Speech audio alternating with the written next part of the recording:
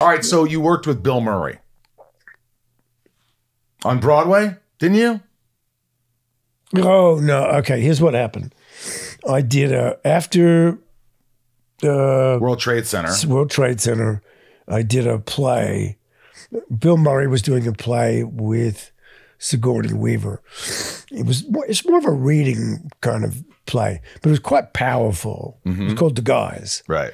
and I got a call um, saying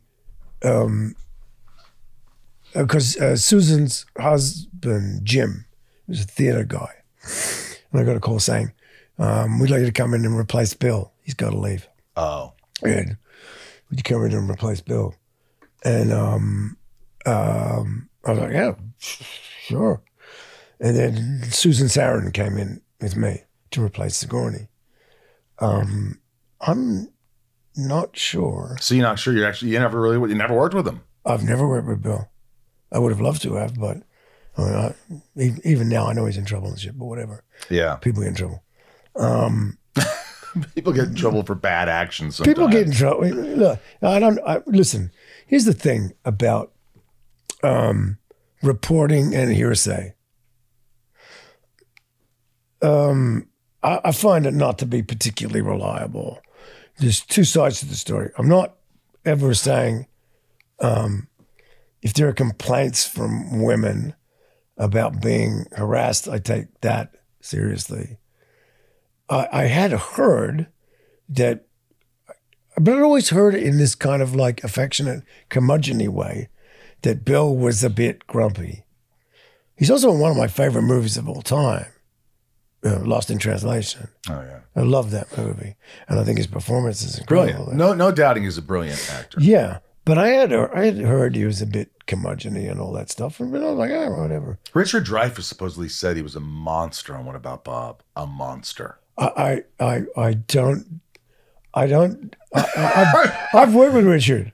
Was And Richard a monster? Dr- dr- no, He's great, right? No, no, he's the most highly energetic, enthusiastic, Yeah, actor, actor friendly guy.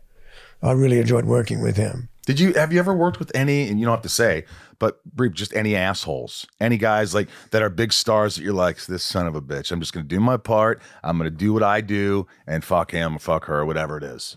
No, no, no. I replaced somebody who was an asshole, and I heard about what an, what an asshole he was. I'm not saying who it was, um, but I have never worked with someone that I've worked with some difficult people. Like I, I worked with at that time he had a reputation, and I'll say because I love him, Val Kilmer, right? And I worked with Val, and this is a true story. On the first day that I meet Val, he comes out and he's wearing he's got like this pristine white T-shirt that says uh, what was that movie he did with De Niro? Uh, Heat. Hey, No, he's got a beautiful white heat t-shirt and he's got a cup of coffee. And I'm standing there talking to the director, and he comes up, and I've got like this kind of like I don't know, like nylon uh, jacket or something on. And he comes up, he's got a cup of coffee. He puts his arm around me and starts pouring the coffee down the front of my jacket while I'm talking to the director.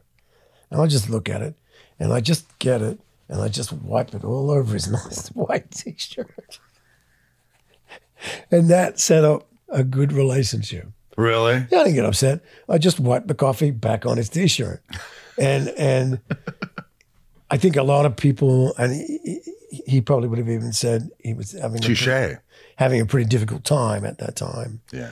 and he there was some big blow-ups on that set, and but me personally, I didn't have a problem with him. That's awesome. and and you know he would come into my trailer and he would say things to me like now listen man i want you to um see these ring. He had all these big rings on. He's like i think that you should wear this ring in this scene because it represents x y and z and blah blah blah. And now what i know is the shot we're about to do is the three of us standing on a hill in silhouette against the sun so i go give me the ring that's great no one gives a shit. no one's gonna no see gonna see it. It made him happy.